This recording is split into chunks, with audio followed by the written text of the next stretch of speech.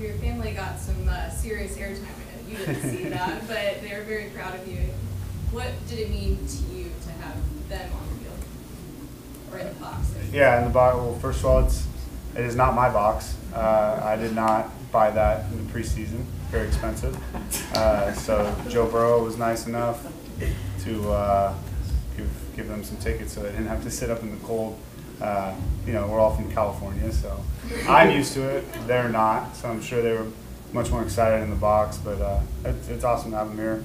It was, uh, I think it was two friends from back home, girlfriend, and then my brother, and uh, my sister and sister's boyfriend. So it's it's always nice to have people there, and it's mostly nice after you win to you know go grab dinner or something somewhere.